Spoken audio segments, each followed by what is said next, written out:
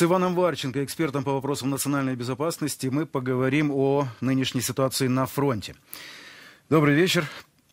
Итак, э, э, Иван, вы нас слышите? Э, добрый вечер. Слава Украине. Героям слава. Да, Начнем давайте с северных направлений. Россияне подтягивают резервы и прут на Лиман.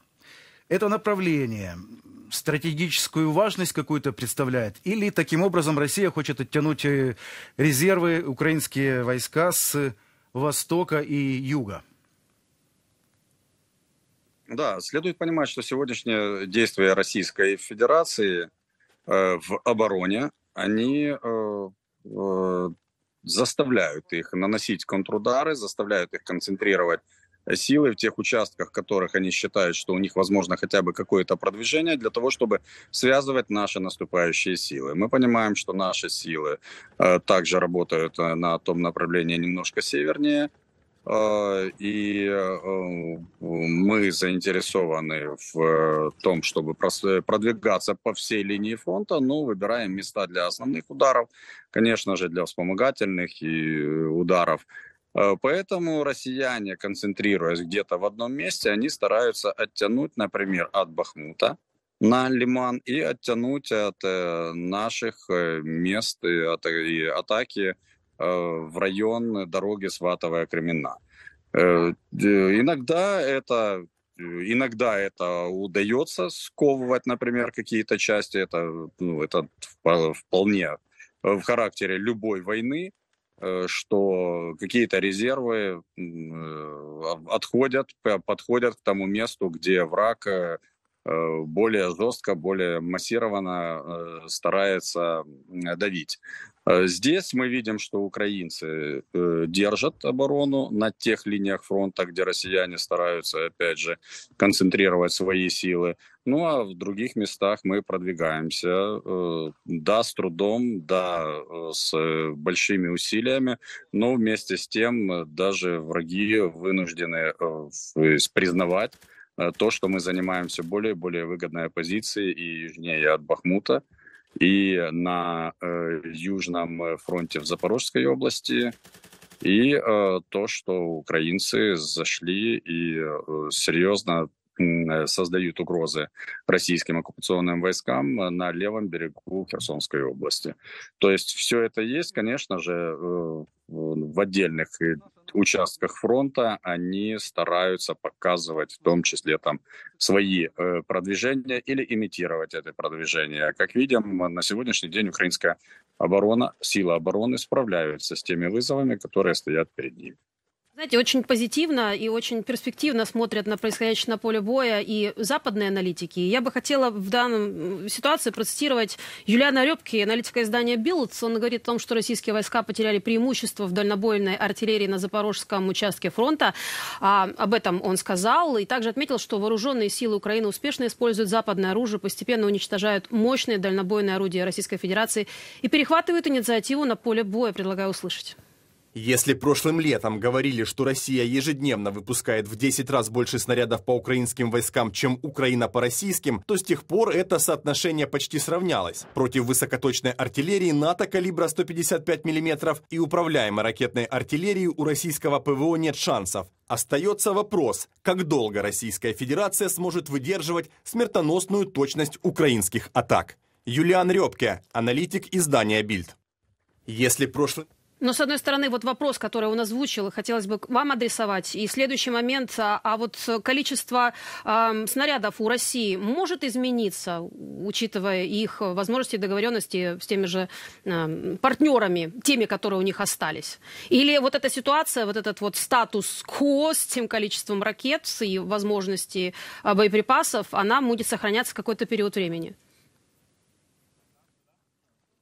ну, нужно анализировать сегодняшний день. Сегодняшний день России говорит э, о том, что у нее тяжелое положение, в том числе с производством боеприпасов. Мы видим, что практически с конвейера они посылают э, в украинскую землю свои ракеты. Э, тоже касается других артиллерийских снарядов. Они используют свои запасы, но вместе с тем темпы использование их на фронте и темпы, которые может позволить российская экономика, это совершенно две разные вещи. Российская экономика не успевает за тем количеством, которое требует фронт. И, конечно же, откуда-то нужно компенсировать. Относительно партнеров, знаете, партнеров много, и они радостно готовы работать с вами вместе, когда вы идете к победе.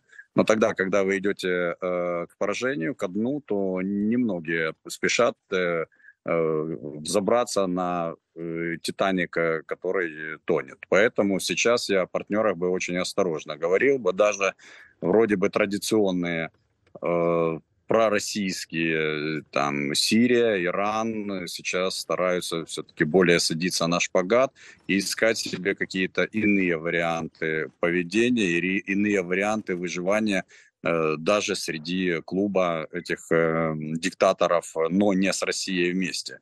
Поэтому, ну, не говоря уже о Китае, не говоря уже об Индии, которых Россия называют традиционно своими партнерами, они совершенно не спешат помогать России какими-то технологиями. Но заработать не против. Заработать не против, поднять свою часть экономику тоже не против. И это, конечно, нельзя сбрасывать со счетов. Мы понимаем, что китайские технологии сейчас активно работают в России, но это все-таки далеко от того, что мы называем большой государственной поддержкой. И мы понимаем, как в полный рост можем, может работать большая экономика большого государства. На сегодняшний день экономика России не способна компенсировать э, то э, своим производством э, то, ту утрату боеприпасов, которая происходит на фронте. Иван, давайте вернемся к теме дальнобойных орудий и южном, южному направлению. Сейчас, если посмотреть на карту Таврийского направления, то практически вся линия фронта уже постепенно, так бы, так сказать, голубеет. То есть э, первую линию обороны наши войска как бы перемололи, перемолотили. Можно ли говорить, что это основная линия обороны э, или только первая? И что тогда такое, э, что тогда основная линия обороны? Как вы оцениваете вот эти масштабы укреплений российской армии на юге? Ну, современное военное искусство э, российское, выписанное в э, уставе Вооруженных сил Российской Федерации, предусматривает классические постсоветской традиции три линии, э, три рубежа обороны, которые они формируют. По сегодняшней традиции уже может быть такое, что и второй рубеж обороны ничем не слабее, может быть, первого рубежа, так же, как и третий. Они имели достаточно времени для того, чтобы его формировать. Э, поэтому э, мы с пониманием, что украинские силы обороны совершенно серьезно подходили к подготовке э, нашего контрнаступления. Мы понимали, с какими вызовами мы столкнемся. Мы понимали, что нельзя забрасывать шапками врага, нельзя недооценивать те возможности, которые он имел и которые он использовал на, на протяжении полтора года, поскольку он понял, что украинцы это сильная, э, сильные вооруженные силы, это сильные силы обороны, и, конечно же, он уже не подходит с тем э, с, с той легковажностью, как это на русском языке, да, на, укра... на украинском, с, э, с, том, с тем поверхностным таким отношением и пренебрежительным отношением к украинским силам обороны. Поэтому, конечно же, закапывались они основательно, они удобряли, э, с позволения сказать, украинскую землю смертоносным металлом очень и очень густо, как известно, в разы превышая те нормы, которые э, ими же были продуманы для э, той или иной э, ли, э, части линии фронта. Поэтому здесь я бы не стал недооценивать и говорить, что уже основную работу мы сделали. Мы сможем сказать, что сделали основную работу после того, как об этом скажет генеральный штаб, после того, как этого скажет главнокомандующий вооруженных сил Украины, тогда мы сможем сказать «да». Э, почему стоит доверять э, генштабу? Потому что у нас нет причин сказать, что они когда-то на протяжении всей большой войны выдавали желаемое за действительное. Все-таки чаще они не говорили чего-то оптимистичного, э, сохраняя интригу, и потом только мы стыкались с тем, что мы на самом деле значительно сильнее, значительно больше прошли. Поэтому и сейчас набираться терпения, помогать вооруженным силам, если вы э, в тылу, и, конечно же, на фронте не расслабляться, понимая, что у нас еще много и много работы впереди. А вот про желаемое за действительное, то, что происходит сейчас э, на Крымском полуострове, вот даже одна из свежих статей, которая вышла на э, портале Крым Реалии, так и называется «Разрушение на Керченском Крымском мосту. Российские власти ввели в Керчи режим чрезвычайной ситуации». Действительно ли такая ситуация, которая требует введения чрезвычайной ситуации, либо это чтобы нагнать больше истерии и оправдать э, свои обвинения и свои претензии к украинской стороне? Ну и второй вопрос – провокация называется одна из мотиваций того, что произошло там российской стороной. Для чего она могла бы быть использована россиянами, как вы думаете? Я не считаю, что это провокация. Все-таки может быть, э, все-таки, как это сказать, что э, божевильный, да, э, сумасшедший разум российских военачальников и политиков все-таки в каком-то проценте понимал, что можно использовать эту историю как провокацию для того, чтобы в очередной раз там обвинить э, Украину в э, каких-то очередных э, выдуманных грехах и, например, не ограничить зерновые коридоры. Да? То есть то, что Россия сейчас делает. Но это очень дорогая плата за провокацию. Нет, это не Россия. Это понятно, что это работает оружие возмездия Украины – и э, понятно, что э, Керченский мост является э, одним из двух основных э, путей э, обеспечения российских оккупационных войск на юге Украины. Поэтому э, здесь э, однозначно его нужно уничтожить, он будет уничтожен, он не, э, россияне не будут иметь возможности пользоваться этой цепочкой доставки живой силы, техники и вооружения. Поэтому, конечно же, это должно было случиться, и вот это случилось в этот момент. Я совершенно уверен, что и дальше это сигнал, это сигнал для россиян сейчас, что убегайте убегайте. Если вы оккупанты, убегайте из Крымского полуострова, потому что завтра вы не сможете убежать. Завтра вы должны будете нести в том числе физическое наказание за то, что вы э, пребываете среди этих э, российских оккупантов. Это хороший сигнал, в том числе российским вооруженным оккупационным силам, которые понимают, что э, у них меньше шансов убежать вовремя, сохранить свои жизни, когда не будет этого пути отступления. И Конечно же, и дальше Украина будет работать по тому, чтобы уничтожить логистические пути российские. Ну а то, что это провокация какая-то российская, то это, эта провокация несет сколько неудобств и сколько э, негатива именно для России, для российской власти, для российских, э, для российской обороны, для российского общества, что ну, скорее всего, я думаю, что история о том, что это российская провокация, она, они немножко преувеличены. А если говорить о логистических артериях, ну, допустим, э, какова альтернатива крымской артерии? Или только остается путь сухопутный, через Мариуполь? Сухопутный, сухопутный путь. Да, Мариуполь э, на Мелитополь или через Бердянск э, э, вдоль Азовского моря на Геническ. То есть здесь вопрос в том, что они смогут чем-то компенсировать. Через Керченский мост шло более чем 50%, 50% всей российской военной помощи или военного обеспечения, правильно говорить. Э, то, что будет по сухопутному коридору, э, находящимся под непрерывным огневым контролем сейчас и возможностью огневого воздействия со стороны украинских сил обороны, это не компенсирует никоим образом э, те объемы, которых сейчас требуют обороняющиеся российские войска. Поэтому, конечно же, они поставлены в очень неудобное положение, которое уже в ближайшие недели покажет, что у них будут проваливаться логистика обеспечения на отдельных участках фронта. И, конечно же, это э, будет в пользу украинского, э, украинских наступательных э, действий. А если уже добить, так бы, так сказать, информационно добить южное направление, ротации, перестановки в высшем генералитете России, каким образом могут, кроме, конечно, морального каким образом могут э, сказаться на состоянии войск на юге?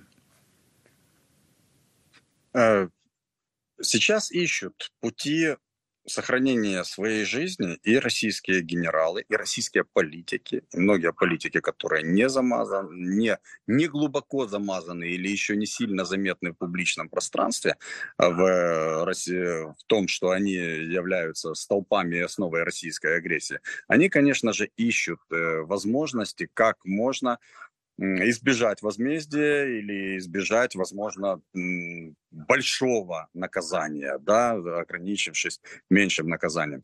Э, поэтому ищут такие же пути к отступлению и российские солдаты. То, что мы видели с генералами, это лишь начало большого сериала. Э, сейчас, э, и когда мы с вами говорили о Пригожинском походе на Москву, на Россию, мы понимали, что это лишь э, анонс первой серии большого сериала, когда будут э, сейчас э, и среди политической элиты, и среди генералитета российского обязательно найдутся оппозиционеры, несогласные, недовольные, пользующиеся, опять же, своими, своим бэкграундом героическим, и они будут требовать к себе внимания, они будут требовать к тому, чтобы они были услышаны. И одним из главных месседжей, который будет звучать в ближайшее время, это то, что нам нечего делать в Украине. И для меня это совершенно очевидно, поскольку ситуация, с которой они столкнулись, опять же, в походе Пригожина, она показала, что они увидели то, что они хотели увидеть в Украине. Именно Э, они же, когда пришли в Украину, ожидали, что э, Украину, они ожидали, что их будут встречать с хлебом, солью, с караваями и с цветами. Оказалось, что тут их встречают оружием. А когда они пошли на Москву, их встречали, их российские граждане с хлебом, солью, караваем, цветами, песнями, плясками, и девочки э, Э, бросались на шеи, кричали женщине «Ура!» и в воздух чепчики бросали. Все то, чего они ожидали увидеть в Украине. И, конечно же, эта история, эти картинки, интересные совершенно картинки, э, которых им аплодируют, конечно же, они сейчас все более и более находят отзыв в сердцах российских солдат, находящихся на линии фронта. Поэтому мы увидели и генерала Попова, поэтому мы видим сейчас заявление относительно генерала Теплинского, которые вроде бы бойцы его говорят о том, что не нужно этого генерала обижать, поскольку мы снимемся с фронта. Конечно же, они ищут все возможности для того, чтобы сняться с фронта. И это совершенно, мы понимаем, главная причина это не, не мужество и героизм, который они хотят проявить, а скорее они ищут повод. И они дальше будут искать поводы. Дальше будут следующие серии, и мы будем видеть уже не, по, не одиночные бунты солдат, а будем видеть массовое Э, массовый уход с фронта россиян, и, э, которые будут искать себе счастье в России.